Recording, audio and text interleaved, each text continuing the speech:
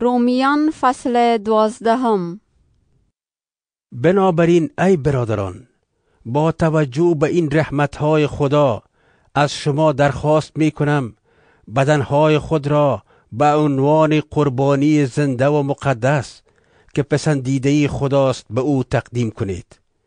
عبادت روحانی و معقول شما همین است.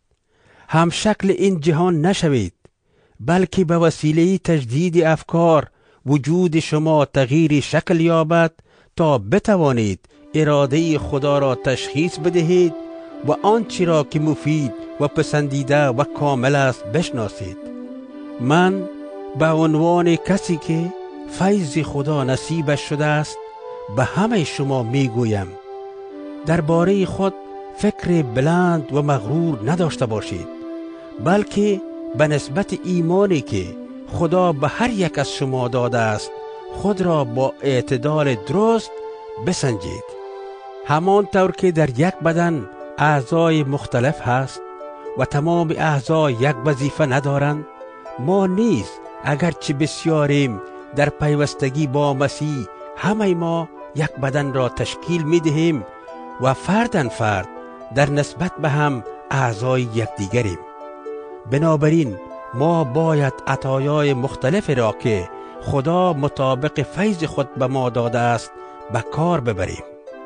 اگر عطیه ما اعلام کلام خداست باید آن را به فراخور ایمانی که داریم انجام دهیم. اگر خدمت کردن است باید خدمت کنیم. اگر تعلیم دادن است باید تعلیم بدهیم. اگر تشویق دیگران است باید چنان کنیم. مرد بخشنده باید با سخاوت باشد. آن که رهبر است با کوشش رهبری کند و شخص مهربان با خوشی خدمت خود را انجام دهد.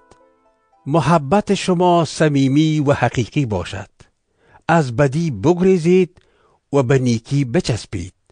یک دیگر را با محبت برادرانه دوست بدارید و هر کس به دیگری بیشتر از خود احترام نماید. با کوشش خستگی ناپذیر و با شوق و ذوق خدا را خدمت کنید.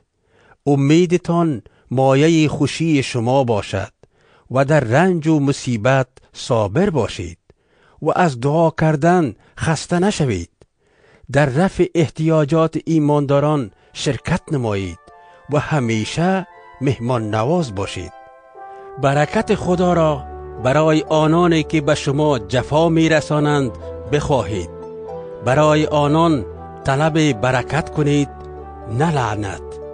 با دلشادان خوشی کنید و با ماتمیان ماتم نمایید. در فکر یکدیگر بدون طرفداری باشید. مغرور نباشید و از معاشرت با حقیران خودداری نکنید و خود را از دیگران داناتر نشمارید. به هیچ کس به عوض بدی بدی نرسانید.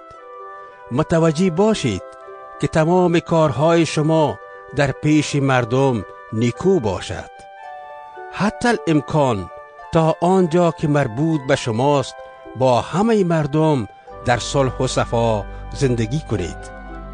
ای دوستان عزیز به هیچ وجه انتقام خود را نگیرید بلکه آن را به مکافات خدا واگذار کنید. زیرا نوشته شده است.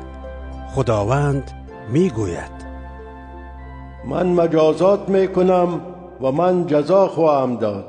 بلکه اگر دشمن تو گرسنه است او را سیر کن و اگر تشنه است به او آب بده.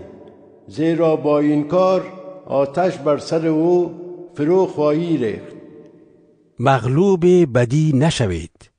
بلکه بدی را با خوبی مغلوب سازید.